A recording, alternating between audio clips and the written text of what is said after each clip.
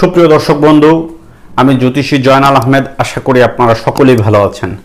সুপ্রিয় দর্শক বন্ধু, যে সকল বন্ধুরা ইতিপূর্বে আমার এই চ্যানেলটি সাবস্ক্রাইব করেছেন, তাদের প্রত্যেককে অসংখ্য ধন্যবাদ এবং কৃতজ্ঞতা জানাচ্ছি। যে সকল বন্ধুরা এখনও আমার চ্যানেলের নতুন, চ্যানেলটি সাবস্ক্রাইব করে নেবেন, পাশে থাকা অল বেল আইকন বাটনটি প্রেস করে নেবেন, যাতে করে আমার পরবর্তী সকল ভিডিও আপনার কাছে সবার আগে পৌঁছায়। সুপ্রিয় দর্শক বন্ধু, আজকের ভিডিওটি কোনো স্ক্রিপ্ট না করে পুরো ভিডিওটি মনোযোগ সহকারে দেখুন। যারা সরকারি বা বেসরকারি চাকরি করার চেষ্টা করছেন, বিভিন্ন জায়গায় সিবি জমা দিয়েছেন বা ইন্টারভিউ দিয়েছেন, তাদের চাকরি হবে কিনা, হাতের কোন রেখা থাকলে সরকারি চাকরি হবে, কোন রেখা থাকলে বেসরকারি চাকরি হবে বা চাকরি হবে কিনা, সেই বিষয়টি জানতে পারবেন এই ভিডিওটি দেখে।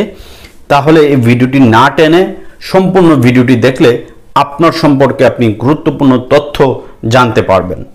সুপ্রিয় দর্শক বন্ধু, প্রথমেই হাতের রেখা এবং গ্রহগুলো আপনার সাথে, আপনাদের সাথে পরিচয় করে দিব। এই যে আঙ্গুলটি দেখতে পাচ্ছেন, এটি হচ্ছে বুধের আঙ্গুল এটি হচ্ছে রবির আঙ্গুল এটি হচ্ছে শনির আঙ্গুল এটি হচ্ছে বৃহস্পতির আঙ্গুল এটি হচ্ছে শুক্রের আঙ্গুল এই রেখাটি হচ্ছে হৃদয় রেখা, এই রেখাটি হচ্ছে ভাগ্য রেখা, আর এই রেখাটি হচ্ছে আয়ু রেখা। কোন চিহ্ন থাকলে আপনার সরকারি চাকরি হবে কিনা? এই প্রশ্নটি আমাদেরকে অনেকেই করে থাকেন, সরকারি চাকরি হবে কিনা? কারণ সরকারি চাকরি একটি সোনার হরিণের মতো। অনেকেই চেষ্টা করেন, কিন্তু হয় না। কারণ চাকরিতে মাত্র পাঁচজন লোকের প্রয়োজন, সেক্ষেত্রে ইন্টারভিউ দেন পাঁচশো লোক।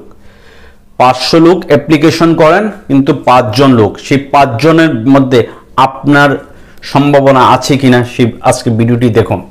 সুপ্রিয় দর্শক বন্ধু, এই যে ভাগ্য রেখাটি দেখতে পাচ্ছেন, এই ভাগ্য রেখা থেকে একবারে শনির আঙুলে ঠিক নিচ পর্বে গিয়ে শেষ হয়েছে ভাগ্য রেখাটি এই সেই ভাগ্য রেখাটি এবার এই ভাগ্য রেখা থেকে কোনো শাখা রেখা শনি পর্যন্ত যদি যায়, শনি এবং বৃহস্পতির আঙ্গুলের ঠিক পাশাপাশি পর্যন্ত যায় এবং এখানে একটি ত্রিভুজ চিহ্ন যদি যুক্ত থাকে, বৃহস্পতির এই স্থানটিতে একটি ক্রস চিহ্ন থাকে, এই ধরনের একটি ত্রিভুজ বৃহস্পতির স্থানে একটি ক্রস। শনির ক্ষেত্রে একটি ত্রিভুজ এবং একটি শাখা রেখা বৃহস্পতির স্থানে একটি ক্রস চিহ্ন, যাদের হাতে থাকবে তারা সরকারি চাকরি করতে পারবেন। সরকারি চাকরির যুগ তাদের হাতে আছে। তাদের আজ না হয় কাল সরকারি চাকরি হবে।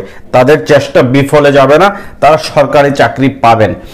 আপনার বৃহস্পতির এখানে ক্রস চিহ্ন থাকা মানেই হচ্ছে আপনি সম্মানী পেশা যুক্ত হবেন। কারণ সরকারি চাকরিটি বর্তমানে সম্মানী একটি পেশার মতো। সেটি কেরানির হোক, অফিসার হোক, যে কোনো পর্যায়ের হোক, এটি এখন সোনার হরিণ হয়ে গেছে আমাদের দেশে। আর শনির স্থানে যদি এই ধরনের ত্রিভুজ চিহ্ন থাকে, তাহলে এই ব্যক্তিটির সরকারি চাকরি কেউ ঠেকাতে পারবেন না। তিনি চেষ্টা করলে তার কাঙ্ক্ষিত লক্ষ্যে তিনি পৌঁছাতে পারবেন। তার সরকারি চাকরির প্রবল যোগ আছে। এই জাতকের সরকারি চাকরি হবে সেটি তার জ্ঞান, অভিজ্ঞতার উপরে নির্ভর করে। কারণ সরকারি চাকরির যুগ অনেকের থাকে, কিন্তু তার জ্ঞান এবং অভিজ্ঞতার কারণে সেই যুগটি অনেকের হয় না। সেটি কিন্তু জন্মকুণ্ডলী থেকে দেখতে হবে।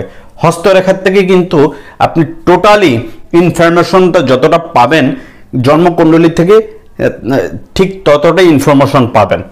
এছাড়া এই জাতকটির সরকারি চাকরির প্রবল সম্ভাবনা আছে। তিনি সরকারি চাকরি করতে পারবেন। সরকারি যে কোনো দপ্তরে তিনি অ্যাপ্লিকেশন করলে তার চাকরিটি হবার প্রবল সম্ভাবনা থাকবে। বৃহস্পতির এই স্থানে এই ধরনের ক্রস চিহ্ন থাকা মানে হচ্ছে তার সম্মান বাড়বে, তার খ্যাতি বাড়বে, তার যশ বাড়বে। শনির এখানে ত্রিভুজ চিহ্ন থাকা মানে হচ্ছে এই জাতক যে কোনোভাবেই হোক তিনি সরকারি চাকরি অর্জন লাভ করতে পারবেন। এবার এই কোন জাতকের প্রাইভেট সেক্টরে চাকরি হবে। বেসরকারি চাকরি কার হবে? এইটিও এবার জেনে নিন।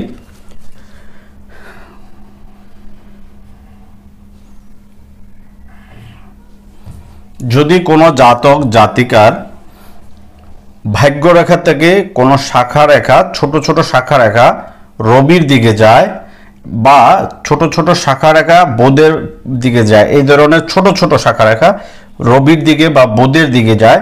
এটি কনিষ্ঠ আঙ্গুলটি হচ্ছে বোধের আঙ্গুল, এর পাশের আঙ্গুলটি হচ্ছে রবির আঙ্গুল। এই ধরনের শাখা রেখা যদি রবি বা বোধের দিকে যায়, তাহলে এই জাতক বেসরকারি চাকরি করতে পারবেন। তিনি কোনো প্রাইভেট ফার্মে চেষ্টা করলে তার চাকরি হবে, তার চাকরির প্রবল সম্ভাবনা আছে।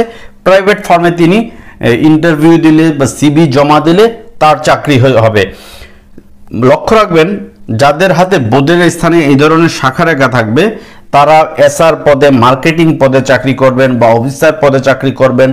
হ্যাঁ তারা একজন ভালো উদ্যোক্তা হতে পারেন এবং তাদের অধীনে অনেক মানুষ চাকরি করতে পারে। এই ধরনের সম্ভাবনাগুলো থাকে। তাদের বেসরকারি চাকরি বা প্রাইভেট ফার্মে তাদের চাকরির যোগ আছে। রবির এই স্থানে শাখা রেখা মানেই হচ্ছে তিনি চাকরি করে অর্থ উপার্জন করতে পারবেন প্রাইভেট ফার্মে তারপর এই জাতকটি প্রাইভেট ফার্মে চাকরি করলে তিনি চাকরির যোগ আছে। তিনি সিবি জমা দিলেও তার চাকরি হবার প্রবল সম্ভাবনা থাকবে।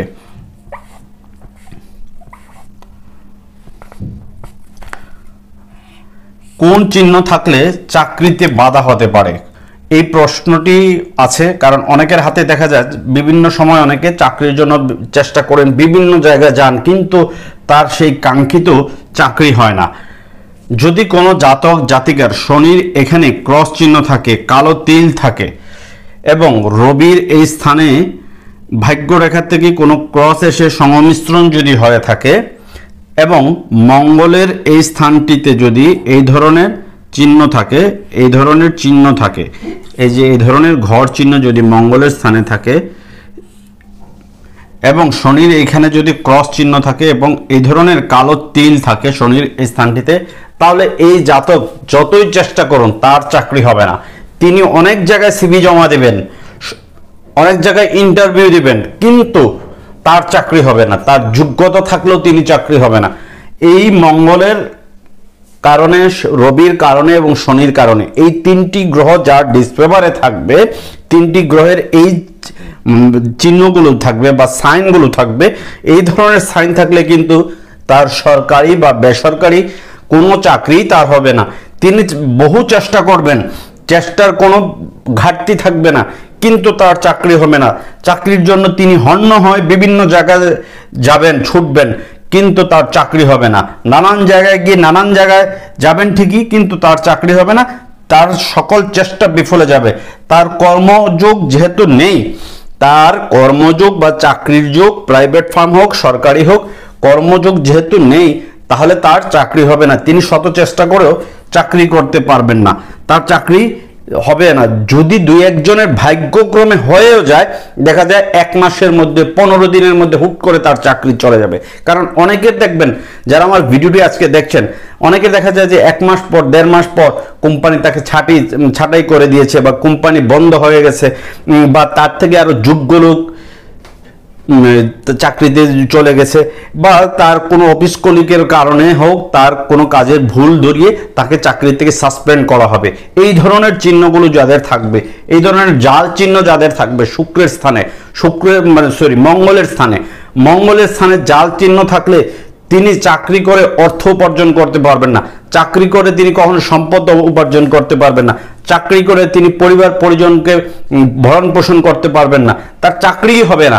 তিনি তার সকল চেষ্টা, তার লক্ষ্য সব কিছুই থাকবে বাট চাকরি হবে না। সুপ্রিয় দর্শক বন্ধু, প্রত্যেকটি জাতক, জাতিকার হস্তরেখা জন্ম কুণ্ডলিনী কুণ্ডলী বিচার বিশ্লেষণ করে, সংখ্যাতত্ত্ব বিচার বিশ্লেষণ করে, তারপরে একটি সঠিক গাইডলাইন দেওয়া যায় যে তার সরকারি চাকরি আছে কিনা, তার প্রাইভেট ফার্মে চাকরি হবে কিনা কত বছর বয়সে তার চাকরি হবে বা কোন সেক্টরে তার চাকরি হবে, প্রশাসনিক সেক্টরে চাকরি হবে, আইন পেশায় তার চাকরি হবে বা সরকারি কোন ফার্মে তার চাকরি হতে পারে এগ্রিকালচার সাইটে ইলেকট্রনিক্স সাইটে কোন ফার্মে তার চাকরি হতে পারে, এই বিষয়টি অভিজ্ঞ জ্যোতিষের মাধ্যম থেকে আপনারা জেনে নিতে পারবেন। এছাড়া বেসরকারি চাকরি করলে তিনি মার্কেটিং জব করতে পারবেন কিনা অফিসার জব হবে কিনা, বা তিনি কোন পোস্টে চাকরি করতে পারবেন, তার কত বছর বয়সে চাকরির যোগ আছে, বা তার কেন চাকরিটি হচ্ছে না, বা তিনি বারবার চেষ্টা করছেন, কিন্তু তার চাকরিটি কেন হচ্ছে না, সেটি অভিজ্ঞ জ্যোতিষের মাধ্যম থেকে আপনারা জেনে নিতে পারবেন। প্রত্যেকটি জাতক জাতিকার জন্ম কুণ্ডলিটি করিয়ে নেবেন। এই ধরনের জন্ম কুণ্ডলিটি করিয়ে নেবেন। জন্ম কুণ্ডলিনী এবং নবাংশ কুণ্ডলী বিংশোত্তরীর মধ্যে মহাদশা চন্দ্র মতে তার রাশি কি, তার গণ কি, তার লগ্ন কি, এই বিষয়গুলো জেনে নেবেন। তার জন্ম কুণ্ডলিতে রবি কোন ঘরে, বৃহস্পতি কোন ঘরে, চন্দ্র কোন ঘরে, কেতু কোন ঘরে, রাহু কোন ঘরে, শনি কোন ঘরে, মঙ্গল কোন ঘরে প্লুটো কোন ঘরে বা ইউরেনাস কোন ঘরে, এটি জেনে নেবেন জন্ম কুণ্ডলী নবাংশ কুণ্ডলী এবং বিংশোত্তরীর মতে তার কোন গ্রহের দশা বর্তমানে চলছে, অতীতে কোন গ্রহের দশা ছিল, কত বছর ছিল, বর্তমানে কোন গ্রহের দশা চলছে, এই গ্রহের দশাটি কত বছর থাকবে, তার দ্বারা তিনি কি কি বেনিফিটেড হবেন, কোন কোন ক্ষেত্রে তার ক্ষতিগ্রস্ত হবার সম্ভাবনা আছে, কোন কোন ক্ষেত্রে তার ভালো যাওয়ার সম্ভাবনা আছে, সেটি অভিজ্ঞ জ্যোতিষীর মাধ্যম থেকে আপনারা জেনে বুঝে তারপরে সলিউশন এবং চেষ্টা করবেন যে আপনি চাকরির। কারণ অনেকে চাকরির চেষ্টা করে বয়স পার করে ফেলেন, কিন্তু তার চাকরি হয় না। কেন চাকরি হয় না? যদি এই ধরনের সমস্যা থাকে গ্রহের জনিত সমস্যা থাকে, তাহলে তো তার চাকরি হবে না। বরং তো তাকে অন্য পেশায় মনোযোগ দিতে হবে। তাহলে তার বয়সটি পার করে ফেলেন, বিভিন্ন জায়গায় সিবি জমা দেন দুশো, পাঁচশো, এক হাজার টাকা দিয়ে বিভিন্ন জায়গায় ইন্টারভিউ দিতে যান, কিন্তু তার হয় না। কেন হয় না? এই বিষয়টি অভিজ্ঞ জ্যোতিষীর কাছ থেকে জেনে নেবেন। সুপ্রিয় দর্শক বন্ধু হস্তরেখা বিচারের আজকের এই গুরুত্বপূর্ণ ভিডিওটি যদি আপনাদের কাছে তথ্যমূলক মনে হয় তাকে ভিডিওটি লাইক শেয়ার এবং কমেন্টস করবেন। আমার পরবর্তী হস্তরেখা বিষয়ক ভিডিও দেখতে হলে অবশ্যই চ্যানেলটি যারা সাবস্ক্রাইব করেননি এখনও চ্যানেলটি সাবস্ক্রাইব করে নেবেন। আপনারা সকলেই ভালো থাকুন।